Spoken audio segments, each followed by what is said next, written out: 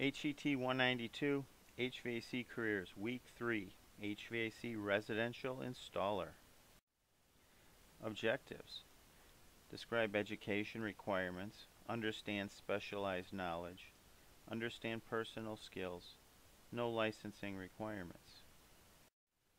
Introduction The career as an HVAC residential installer has special licensing requirements depending on the location. Education is required to do the technical nature of the profession. The residential installer must possess customer service skills. He or she must have the ability to be creative, lay out small projects, and is usually the first job for an individual entering residential HVAC. Education requirements apprenticeship, post secondary, or trade school. An apprenticeship is usually something done through a union or other organization where you will go to work for so many years for a company and at the same time receive in-class instruction.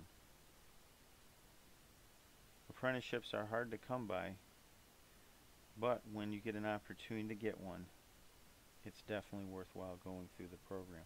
Normally apprentices start out at half the journeyman's wage and by the time four or five year apprenticeship is over, our full journeyman installers. Post-secondary or the community college.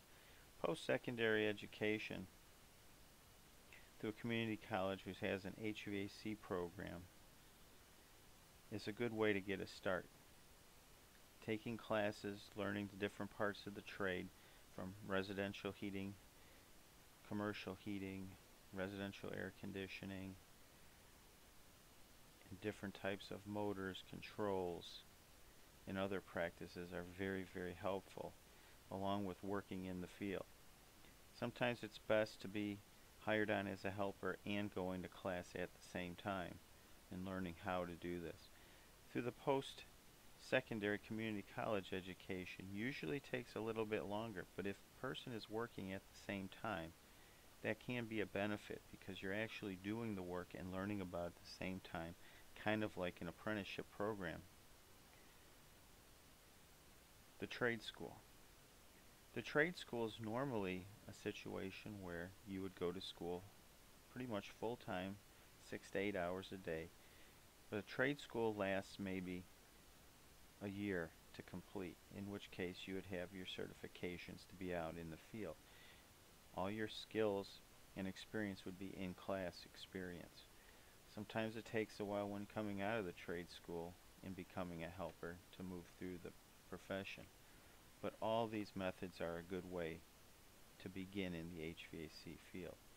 While you're going to school, you'll have an opportunity to meet different employers who can bring you on at the level you're at and help give you the experience needed to advance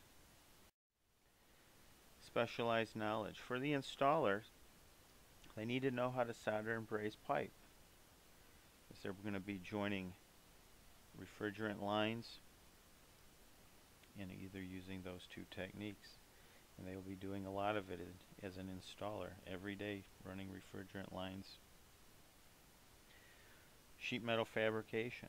As an installer, you will be putting in new furnaces or air conditioners whenever new furnace is installed it's going to be the different size than the one that was there. Therefore some sheet metal fabrication has to be done on the job to make it fit in place. If you're installing an air conditioner coil inside of a piece of ductwork modifications are usually needed also. The installer will also have to have the ability to read blueprints or drawings on how to put the job together Usually the salesperson will come up with the drawing in which he had already talked to the customer and how the system would look.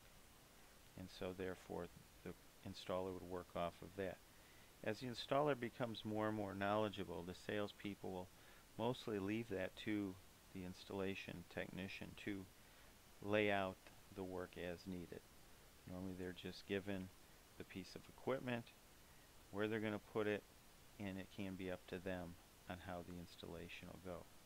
That's where the experience comes in. Personal skills. To be an installer, you need to be analytical, you need to be creative, and you need to be a problem solver. You need to be able to think through the situation. You need to look at what you have before you and what would be the best way to install that piece of equipment, not only for operation, but for the service technicians that will follow you, as all pieces of equipment inevitably will have failures. So you need to look at that and be creative in how you complete the task. How you fabricate the sheet metal so it moves air properly and at the same time looks good. Solving problems for the customer. You need to solve the problems they may have through the installation.